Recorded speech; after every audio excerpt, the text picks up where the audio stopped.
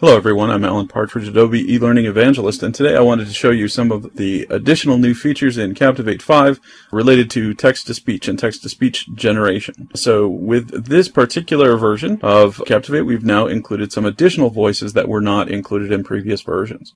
The first thing I want to show you is that here in the slide note panel is where you will now work with everything related to text to speech, everything related to your notes, and everything related to your closed captions and so on. And basically you do that by going through any of these bits and pieces and features. Now I'm just going to take my notes and convert them to text to speech just by toggling this little button. So that immediately will make the thing that I have as a note the script for the text to speech. Then I want to work with the text to speech, so I'm going to click this button. Now, inside the text-to-speech management system, you're going to notice that at the top, you see a drop-down menu that lets you pick who you want to assign to a given piece. Well, the first thing you have to do is select the actual element that you want to assign that voice to, because you could have many, many different lines in a given slide, so you want to make sure you select whatever the line is, and then choose from here, choose the voices, okay?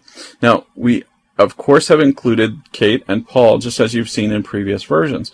But we've also now added three additional voices, and I'll show you a little bit more about those in a second. So we'll start here with Simon, and what we do is we simply click the Generate Audio button, and then Captivate will automatically generate the audio recording for Simon's voice, and then I click Close, and then once I've done that, I can quickly go to the slide that we just recorded and play that sound. Adobe Captivate 5 includes new voices. So you can see that now we've recorded the voice, and Simon is in fact a British English voice. in fact, I've done You can use those new voices to create custom voiceovers for your projects. So it's great to be able to have this as a feature. Um, in addition to Paul and Kate, which were included in the previous version of Adobe Captivate, we now include Simon, Juliet, and Stefan.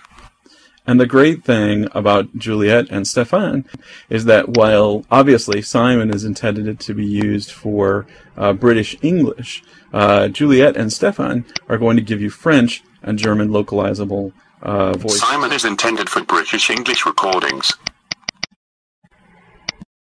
Juliet is used for French text to speech.